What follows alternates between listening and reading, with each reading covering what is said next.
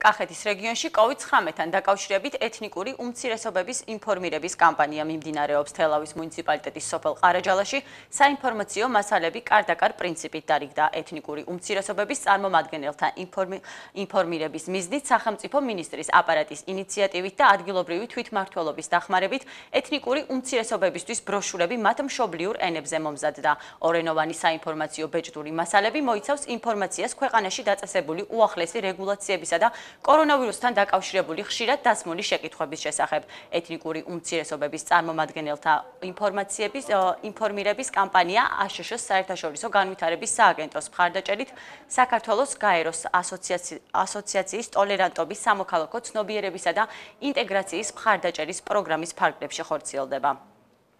ვაცნობოთ მოსახლეობას წესებთან დაკავშირებით და აქ აწერია ორი ენაზე აზერბაიჯანული ენაზე და ქართული ენაზე.